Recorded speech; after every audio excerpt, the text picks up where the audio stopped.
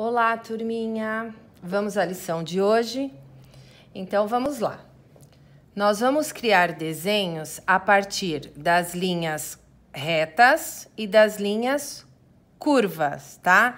Então, em cada um desses quadrados, a gente tem ou é uma linha curva ou é uma linha reta, tá? Então, vocês vão pensar em um desenho para vocês construírem a partir dessa linha. Por exemplo, ó, aqui eu tenho uma linha curva, então eu posso fazer um sol. Certo?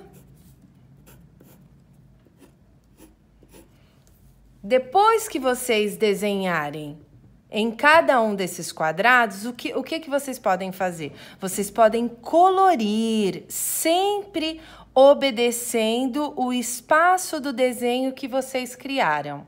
Vamos lá, então?